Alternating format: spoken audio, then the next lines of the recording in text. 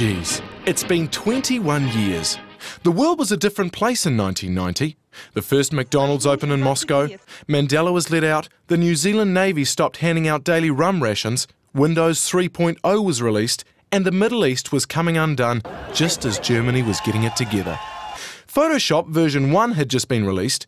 It was the start of the glory years for Adobe and the design of digital type. Tim Berners-Lee came up with a couple of reasonable ideas like the World Wide Web to make porn easier, not to mention HTML and the concept of web addresses.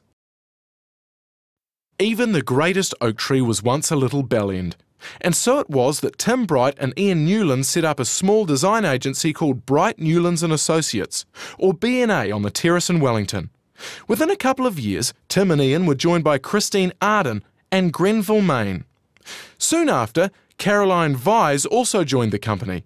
She favours the same hairstyle to this day. In 1993, Grenville and Christine bought the business off Tim and Ian, and since the B&A acronym no longer worked, a new name was required. This was a scientific process. Mm, B&A, B&A, B&A. How about DNA? Sounds good. Done. Graphic design basics, identities, annual reports and brochures were our bread and butter for clients like Telecom, Solid Energy, Formway, BNZ, AMP, Trustbank and National Bank. Oh, oh, What's wrong with you? oh, it's either this show or indigestion. I hope it's indigestion. Why? It'll get better in a little while. This is what design agencies did. And then, one day in 1995, Telecom asked us for something called a website, and DNA delivered one. We were just ahead of the curve, but it was a new curve. Right around this time, we met the guy who owned Formway, one of our clients. We closely worked with Noel, and the torrid affair would turn into a marriage before we knew it. Noel brought a perspective and an approach which still infects the DNA you see today.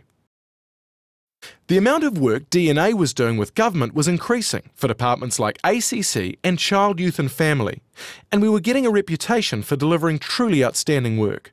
Foresight and curiosity are in DNA's DNA, but ultimately our clients drag us into new areas and make us what we are.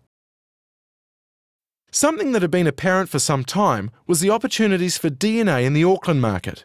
The realisation became a reality early in the new millennium with the opening of DNA Auckland. The Auckland client roster soon included NZTE, Unitec, UDC, Tower, Yellow Pages, and of course Telecom. And the growth saw the team head downtown to move up to the top floor of the ferry building, where many great parties have since been had. And can whoever vomited in the lift that time please now own up? Clearly, Grenville was power dressing less by this point. And while this was great, in later years when he started turning up at meetings without shoes, some pined for the days gone by. DNA was changing from the people who responded really well to a tight brief to the people who would solve big gnarly problems. While DNA was constantly evolving, new streams were added to support the strategic brand offer, including insight, customer touchpoint optimization, retail design, and persona development. These are real words. You can find them in any dictionary. We started to see trends emerging in the challenges our clients were facing. But at the same time, there were few other outfits that could creatively solve these problems. Once again, our clients are shaping the way we need to be. And so we find ourselves in 2011. Today, we're almost 60 people across two offices working with over 60 clients.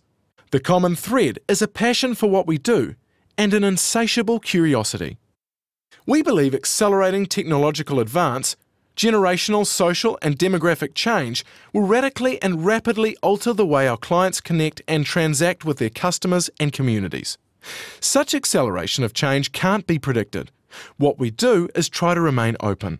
We're looking forward to the ride and hope you'll join us. Happy bloody birthday.